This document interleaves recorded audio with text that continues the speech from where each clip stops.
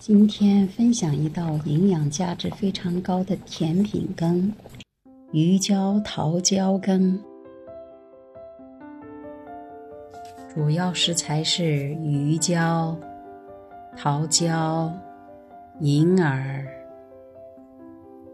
枸杞、百合、莲子和小红枣。这些食材都要提前准备一下。鱼胶含有丰富的胶质，故名鱼胶。鱼胶与燕窝、鱼翅齐名。是八珍之一，是名副其实的高蛋白、低脂肪的营养食物。这个鱼胶是泡了二十四小时之后，需要上笼蒸一下，放一些姜片，蒸二十分钟。二十分钟后，用纯净水、冷水浸泡。并放入冷藏室，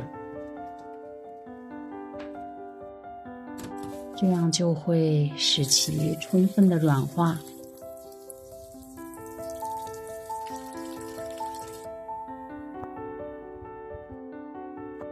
这个环节不可少。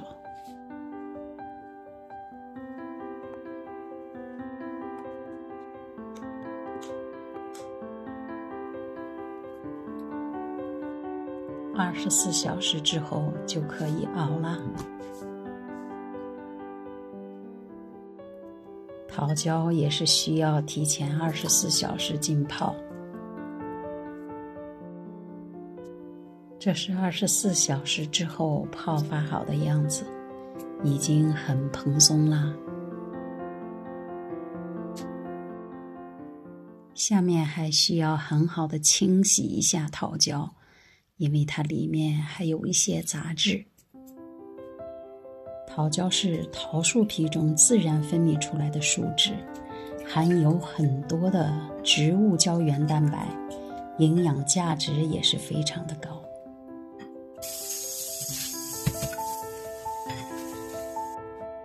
这样就清洗好啦，看着也是晶莹剔透的。银耳只需要提前泡一个小时，清洗一下，撕成小块儿。枸杞、百合、莲子、小红枣，提前清洗干净，泡一会儿即可。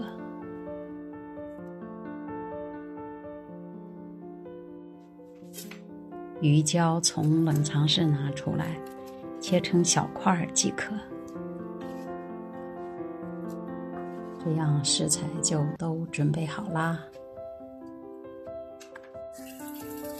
开始准备熬。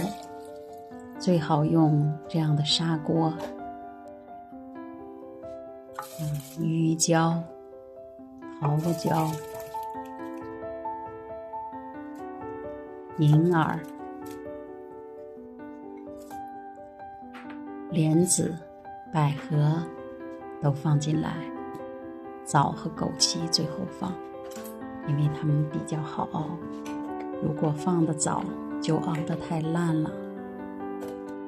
水的比例根据食材相对多一些，因为要熬得很长时间。大火烧开后，小火慢慢熬，这样才能把胶质熬出来。在熬制的过程当中，需要不断的搅，否则它会糊底，这是需要一定的功夫的。至少一个半小时后，可以放小枣和枸杞了。总共的时间至少两个小时以上。熬鱼胶需要一定的耐心。浇至明显的粘稠即可。现在明显的粘稠透明了放一些冰糖或者蜂蜜都可以。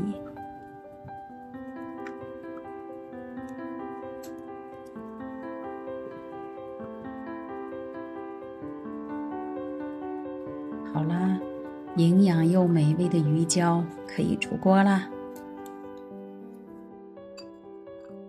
可以看到明显的胶质了。